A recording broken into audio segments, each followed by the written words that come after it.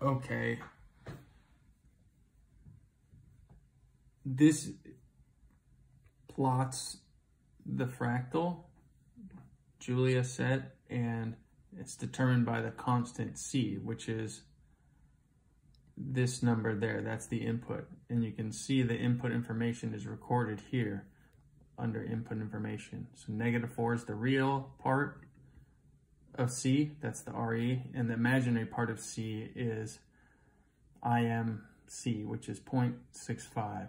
And so the imaginary portion is just the number that's multiplied by i, which is the square root of negative 1. So this is the plot that you get. And here's the iteration rule, which is really not of too much importance. But the set is the boundary of the set of the complex numbers that are an element of C. And C is a set of numbers uh, in which that the orbit of or the values of z sub n, which is what you're calculating above, must lie within this fractal here, which is the Mandelbrot set. So here you see the Julia set is totally disconnected. That means that you picked a constant that lies outside of the Mandelbrot set, or rather you, you picked a C value, which is your complex number, which is a constant, uh, uh, an imaginary number. Your imaginary number lies outside the Mandelbrot set.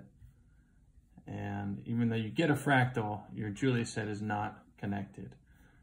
So if we change these coordinates, so we can keep negative 4, but if we lower 0.65, the, the imaginary part, to say 3.5, and we regenerate the plot, that red dot should lie within. So here you have a, a non-fancy fractal, but your Julia set is connected and your red dot lies inside the Mandelbrot set, okay?